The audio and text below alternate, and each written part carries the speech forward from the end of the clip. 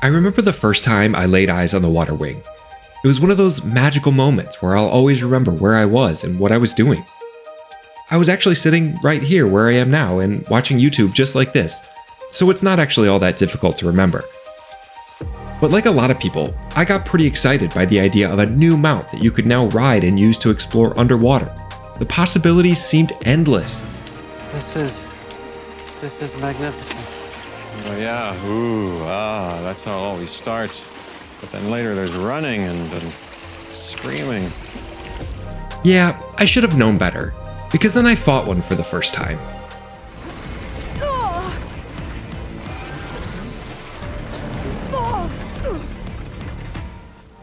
And the magic was gone, and the challenge was on.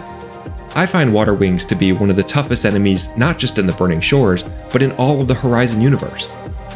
But with this relatively simple three step strategy, you'll be able to beat the Waterwings and their Apex variants every single time. And hey, if you like this video, feel free to give me a like and subscribe to my channel.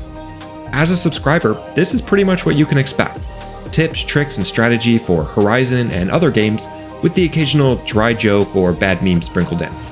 We try not to take ourselves too seriously around here, but what we do take seriously are the Waterwings and seamless segues. So let's jump in. Now first, let's go through and outline the overall strategy, and then I'll take you through a play-by-play -play where I put all the pieces together and complete the 4 Apex Waterwings Arena Challenge in just about 2 minutes. Now without a doubt, the thing that makes the Waterwings the most difficult is the fact that they're never alone. They're always in groups of either 3 or 4, and it can be nearly impossible to take them on this way. So we need to find a way to take the other Waterwings out of the fight so we can focus on fighting them one-on-one. -on -one. And the best option here is to use a rope caster. Now, if you've seen any of my other videos, you know by now that I'm a fan of the rope caster. I know they don't typically get a lot of love, but I seriously can't imagine navigating the Burning Shores or even the arena without one. But I know that they can be tricky to use, so this part might take a little bit of practice. We do, however, have a couple of things that are working in our favor. For one, as a medium weight machine, Waterwings only take one rope to tie down, whereas heavyweight machines like the Bilegut or the Slaughterspine take two. We can also aim for the wings, which give us a nice large target. And the Burning Shores gave us the Rope Caster Expert skill, which gives us the ability to quickly re-tie down a machine once the original tie-down state has deteriorated. Smoke bombs can also be useful here, giving us a little space and a good opportunity to overdraw and aim the rope caster. Now once we have the machines tied down, we can move on to step 2, which is freezing the machine. I find Frost to probably be the most useful element in Horizon, I always make sure to have at least one weapon that specializes in Frost in my weapon wheel at all times. Frost is great for a couple of reasons. For one, when a machine is frozen, impact damage is increased, so we have the ability to deal greater damage. Second, when a machine is in the brittle state, they move slower, which gives you a bigger window to reposition yourself or just limit the machine's attacks. So once we have the machines tied down, we'll want to make sure to freeze them. Now non-Apex Waterwings also have chill water canisters on their back, which you can blow up to instantly trigger the brittle state. However, I wouldn't exactly recommend that. Blowing up the chill water canister is going to instantly deteriorate our tie down status, which we want to keep going for as long as possible. So how do we freeze the machine without causing damage that will deteriorate the tie down status? It's simple. Aim for an armor plate. I like to aim for these big armor plates the Waterwings have right on the front of their wings. Hitting an armor plate will build up elemental free status on the Waterwing without doing a lot of damage, so our tie down status will remain intact. And once we've got the machine tied down and frozen, we can focus on step 3, inflicting maximum damage. My weapon of choice for maximum damage is the Blast Forge Bolt Blaster along with the Sustained Burst weapon technique. I have my Bolt Blaster loaded up with impact damage coils which will get a buff from the elemental free status, and close range damage coils. I'll also be triggering my Valor Surge Ranged Master. I find that with this combination, even on Ultra Hard, I can take out non-Apex and Apex variant Waterwings in just one round. Okay, so now that we have our strategy, let's summarize. Step 1. Isolate the Waterwings by tying them down. Step 2. Freeze them. Step 3. Focus on maximum damage.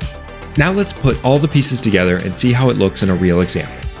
For this example, I'm going to be using the Apex Waterwing Arena Challenge because it's four Apex Waterwings in a relatively small space, which I find to be the hardest example of a Waterwing fight that I've found. So if we can make this strategy work here, we can make it work anywhere.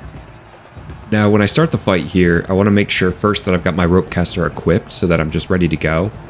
Um, but also when I glide in, I'm trying to glide all the way over to the three Waterwings that are the farthest. Uh, since they're grouped together, I felt like that would probably be the easiest way to kind of get them tied down quickly. And then popping a smoke bomb is always a good idea. It causes them to be confused and just gives you a little bit more of a buffer so that you can aim the rope caster and overdraw it, which you should overdraw the rope caster all the way to make sure that you are able to pierce the armor plates. I feel like that's one of the reasons why rope casters are typically pretty tricky to use is because people try to just shoot them like they would their bow, but you really need to hold down the button and um, overdraw them. And then once I've got them all tied down, I want to work on uh, freezing them as fast as possible. I use the triple notch weapon technique with my hunter bow, and then I'll trigger my Valor Surge, which here is ranged master, and then I'll move right in with the sustained burst weapon technique. And as I mentioned before, I've got my bolt blaster equipped with uh, close range damage coils and impact damage coils. Then I'll move to the second Waterwing. Again, I'm trying to aim for the armor plates right on the front of its wing there because I don't want to damage it, but I do want to do the freeze status. And I found that aiming for the back of the Waterwing will typically do more damage than hitting it from the front. So I'm able to take out both of those first two Apex Waterwings in pretty quick time. Again, using the triple notch weapon technique with the frost arrows, aiming for the armor plate. I'll take a stamina potion there because when my bolt blaster's equipped, I want to use sustained burst. And I'll move around to the back. And we're still doing pretty good there. Uh, the Waterwing is still tied down. He's frozen, so I'll trigger my Valor Surge again. And then I can move right into the Sustained Burst.